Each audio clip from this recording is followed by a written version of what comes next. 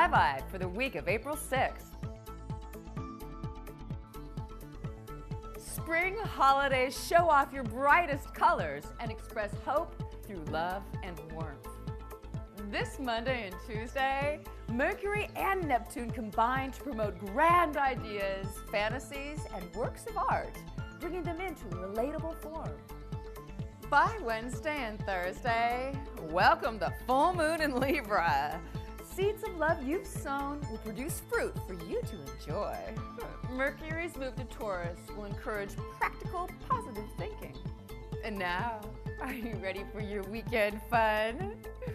You'll celebrate passion and happiness this holiday weekend.